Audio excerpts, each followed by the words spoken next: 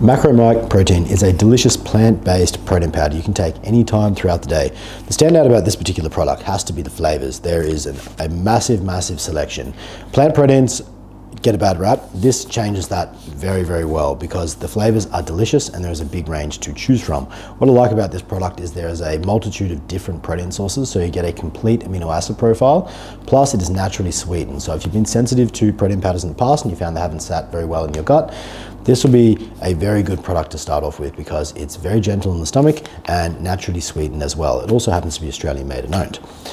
Best way to take this one is to mix one scoop in three to 400 mils of cold water and have that first thing in the morning upon rising if you don't have a protein source in your breakfast and immediately post workout.